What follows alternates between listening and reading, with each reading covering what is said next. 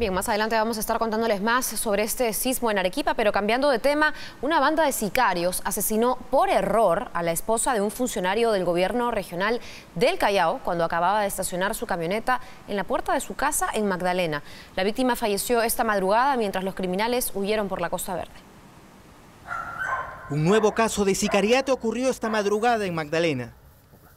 La familia Suelpres estacionó su camioneta en la puerta de su casa cuando repentinamente aparecieron dos motos con dos sicarios que dispararon directamente a la ventana del chofer. Tres impactos de bala acabaron con la vida de Magdalena Huerta Estrada. a la luna del, la luna del, piloto, del piloto. tenía un, un, un impacto. Ah, impacto de bala. Sí.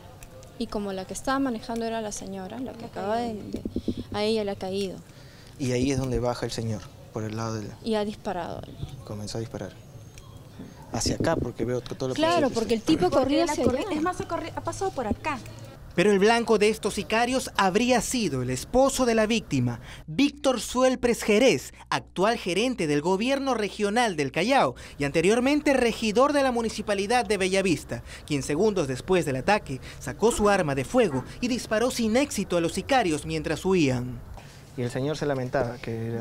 El señor, lo que lo, cuando hemos, dado la vuelta, él dijo eso. Me venían a dar a mí, me venían a dar a mí. En el lugar se lograba apreciar varios casquillos de bala y la camioneta estaba con la luna del chofer completamente destruida. Lamentablemente, las hijas de esta pareja también fueron testigos de este crimen. ¿Cuántos disparos habrán escuchado? Yo escuché tres primero. Ya.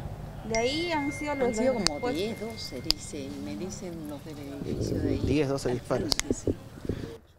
Según informes periodísticos, el gerente del gobierno regional del Callao, Víctor Suelpres Jerez, está vinculado al caso Lavallato junto al gobernador Félix Moreno por las obras de mejoramiento de la avenida Néstor Gambetta, por la cual habrían ocasionado como pérdida al Estado peruano cerca 55 millones de soles.